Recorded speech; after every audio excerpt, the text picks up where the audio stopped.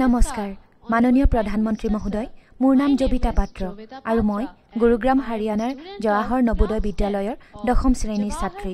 পৰীক্ষা পে চৰ্চা দুহেজাৰ তেইছ অংশগ্ৰহণ কৰাটো মোৰ বাবে সৌভাগ্য আৰু যথেষ্ট সন্মানৰ বিষয়।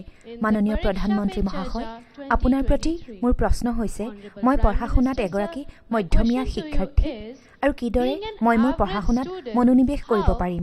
অনুগ্ৰহ কৰি মোক এই বিষয়টোত পৰামৰ্শ দিয়ক। ধন্যবাদ মহাশয়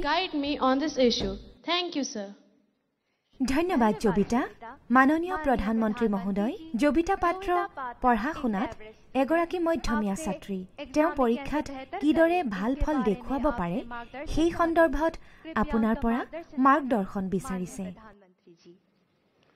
सबसे पहले तो मैं आपको बधाई देता हूं कि आपको पता है कि आप एवरेज हैं পোনপ্ৰথমে মই আপোনাক অভিনন্দন জনাইছোঁ কিয়নো আপুনি নিজেই জানে যে আপুনি পঢ়া শুনাত এগৰাকী মধ্যমীয়া ছাত্ৰী। অন্যথা বেছিভাগ শিক্ষাৰ্থী এনে যে তেওঁলোক পঢ়া শুনাত মধ্যমীয়াতকৈও তলৰ। কিন্তু নিজকে আটাইতকৈ প্ৰতিভাৱান বুলি ভাবে। গতিকে প্ৰথমে মই আপোনাক আৰু আপোনাৰ পিতৃ মাতৃকো অভিনন্দন জনাইছোঁ। এবাৰ আপুনি যদি নিজৰ এই সামৰ্থ্যক স্বীকাৰ কৰি লয় আৰু ভাবে যে হয় মোৰ এইখিনি ক্ষমতা আছে মোৰ এইখিনিহে স্থিতি আৰু মই এতিয়া ইয়াৰ সৈতে খাপ খোৱা বস্তুবিলাকহে বিচাৰি উলিয়াব লাগিব। মই বহুত ডাঙৰ সাফল্য অৰ্জন কৰোতা হোৱাৰ প্ৰয়োজন নাই। যিদিনা আমি আমাৰ শক্তিৰ বিষয়ে জানিব পাৰিম সেইদিনাই আমি সকলোতকৈ শক্তিশালী হৈ পৰিম। যিসকলে নিজৰ শক্তিৰ বিষয়ে নাজানে তেওঁলোক সামৰ্থ্যৱান হোৱাৰ ক্ষেত্ৰত বহুতো বাধাৰ সন্মুখীন হয়। সেইবাবে এই পৰিস্থিতিৰ বিষয়ে জ্ঞাত হোৱাৰ বাবে ঈশ্বৰে নিজেই আপোনাক শক্তি প্ৰদান কৰিছে। আপোনাক শিক্ষকসকলে শক্তি দিছে। আপোনাক পৰিয়ালে শক্তি প্ৰদান কৰিছে। আৰু মই বিচাৰোঁ যে প্ৰতিজন অভিভাৱকে আপোনাসৱৰ সন্তানক সঠিকভাৱে মূল্যাংকন কৰক। তেওঁলোকৰ মাজত হীনমান্যতাৰ ভাৱ আহিবলৈ নিদিব। কিন্তু সঠিকভাৱে মূল্যায়ন কৰক। কেতিয়াবা আপোনালোকে তেওঁলোকৰ বাবে বহুত ব্যয়বহুল দাবী পূৰণ কৰিব। গতিকে আপুনি ভালদৰে তেওঁক ক'ব যে নহয় আমাৰ ঘৰৰ ইমান সামৰ্থ্য নাই। আমি এই বস্তুটো আনি দিব নোৱাৰিম। এইটো কৰক আৰু দুবছৰ অপেক্ষা কৰক। ই একো বেয়া নহয়। ঘৰৰ পৰিস্থিতি সম্পৰ্কে শিশুটোক বিশ্লেষণ কৰিবলৈ দিয়াটো বেয়া কথা নহয়। আৰু সেইকাৰণে আমি এজন স্বাভাৱিক স্তৰৰ ব্যক্তি আৰু বেছিভাগ মানুহ সাধাৰণ স্তৰৰ। খুব কম সংখ্যকহে অসাধাৰণ মানুহ আছে। কিন্তু সাধাৰণ মানুহে যদি অধিক স্বাভাৱিক কাম কৰে আৰু যেতিয়া এই সাধাৰণ মানুহে অস্বাভাৱিক কাম কৰে তেতিয়া তেওঁলোক বহু ওপৰলৈ গুচি যায়। তেওঁলোকে গড় চৰ্ত ভংগ কৰে আৰু ওলাই যায়।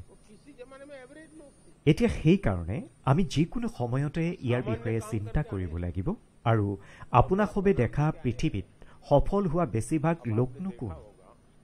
তেওঁলোক এসময়ত সাধাৰণ মানুহেই আছিল। তেওঁলোকে অসামান্য কাম কৰি এইখিনি পাইছেহি। তেওঁলোকে বহুত ডাঙৰ ফল লাভ কৰিছে। এতিয়া আপোনাসৱে নিশ্চয় দেখিছে যে আজিকালি সমগ্ৰ বিশ্বৰ অৰ্থনৈতিক পৰিস্থিতিৰ বিষয়ে বিশ্বত আলোচনা হৈছে। কোনখন দেশ কিমান আগবাঢ়ি গৈছে কাৰ অৰ্থনৈতিক অৱস্থা কেনেকুৱা? আৰু কৰোণাৰ পাছতো ই এক ডাঙৰ মাপক হৈ উঠিছে। আৰু এনে নহয় যে পৃথিৱীত অৰ্থনীতিবিদৰ অভাৱ হৈছে। ডাঙৰ ডাঙৰ নোবেল বঁটা বিজয়ী আছে। যিসকলে পৰামৰ্শ দিব পাৰে যে এনে কৰিলে অৰ্থনৈতিক পৰিস্থিতি এনেধৰণৰ হ'ব। এনে কৰাৰ ফলত এনে এক অৰ্থনৈতিক পৰিস্থিতিৰ উদ্ভৱ হ'ব। জ্ঞানৰ প্ৰবাস ভাগ বতৰা কৰা লোকৰ কোনো অভাৱ নাই। সেইবাবে আজিকালি এনে লোক প্ৰতিটো গলিতে পোৱা যায়। আৰু কিছুমান পণ্ডিতো আছে যিয়ে বহুত কাম কৰিছে। কিন্তু আমি দেখা পাইছো যে ভাৰতে আজি বিশ্বৰ অৰ্থনৈতিক ক্ষেত্ৰখনত যিধৰণে অগ্ৰগতি লাভ কৰিছে তাৰ পৰা ভাৰতক এক আশাৰ ৰশ্মি হিচাপে চিহ্নিত কৰা হৈছে। আপোনাক সবে নিশ্চয় দুই তিনি বছৰ আগতে দেখিবলৈ পাইছিল। আমাৰ চৰকাৰৰ বিষয়ে লিখা হৈছিল যে তেওঁলোকৰ কোনো অৰ্থনীতিবিদ নাই। তেওঁলোক সকলো সাধাৰণ মানুহ। প্ৰধানমন্ত্ৰীৰো অৰ্থনীতিৰ কোনো জ্ঞান নাই। এনেদৰে লিখা হৈছিল। আপোনাসকলে এইবোৰ কথা পঢ়িছিল নে বাৰু? কিন্তু আজি পৃথিৱীৰ একেখন দেশেই যাক সাধাৰণ বুলি কোৱা হৈছিল সেই দেশখন আজি পৃথিৱীত জিলিকি উঠিছে বন্ধুসকল। বন্ধুসকল এতিয়া সেইবাবে আমি এই চাপত থকা উচিত নহয় যে আপোনাসৱ অসাধাৰণ নহয়। আৰু দ্বিতীয় কথা আপুনি সাধাৰণ হলেও আপোনাৰ ভিতৰতো কিবা নহয় কিবা অসাধাৰণ গুণ থাকিবই।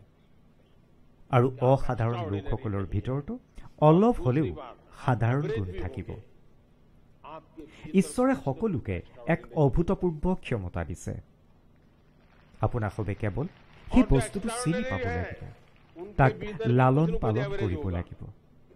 দেখিব আপুনি অতি দ্ৰুত গতিত আগবাঢ়ি যাব পাৰিব पूर्व क्षमता दी होती মই এইদৰে বিশ্বাস কৰোঁ पहचानना ধন্যবাদ है उसको खाद पानी डालना है आप बहुत तेजी से आके निकल जाएंगे ये मेरा विश्वास है धन्यवाद